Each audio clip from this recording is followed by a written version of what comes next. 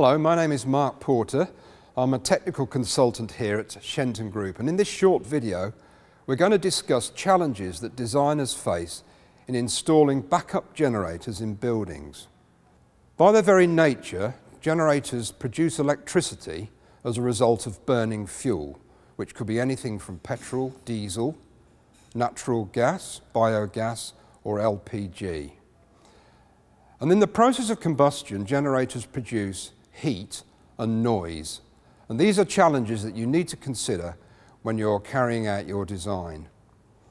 Our advice to you is plan early in the design process to achieve a workmanlike installation that will ultimately save capital and running costs.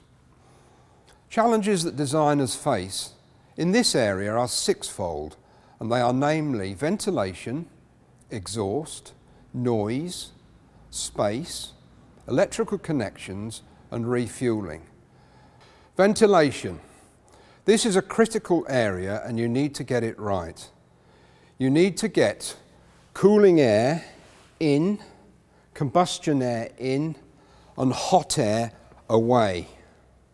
You need to avoid recirculation of air and consider ductwork and auxiliary fans if space is tight.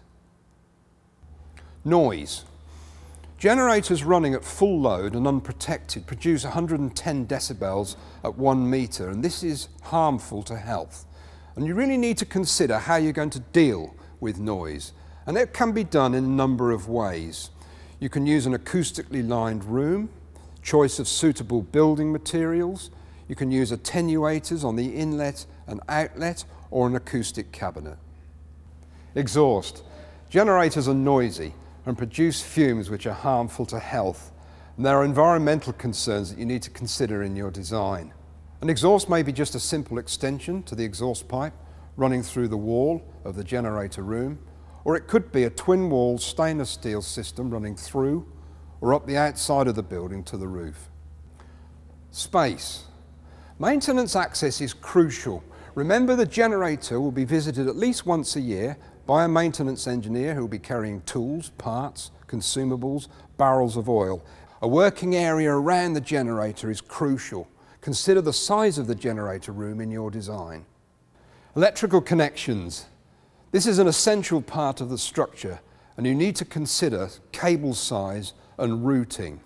Cables may come into the generator connection box from above or from below.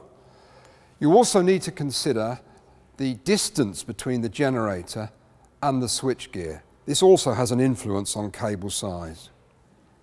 Refueling. How long is the set expected to run for? Is it hours, days, weeks, or over a weekend shutdown? If it's hours, the base tank of a set will normally run up to 12 hours. If it's days or weeks, you need to consider bulk fuel installations, which include fuel transfer systems, either electrical or mechanical. Also, all environmental regulations concerning the bulk storage of fuel must be adhered to in your design. At Shenton Group, we maintain that good advice is essential for good design, and we invite you to contact us with any issues or challenges that you may have in your generator installation. We are here to help you, we will listen to you, will never walk away from a problem. Thank you for listening.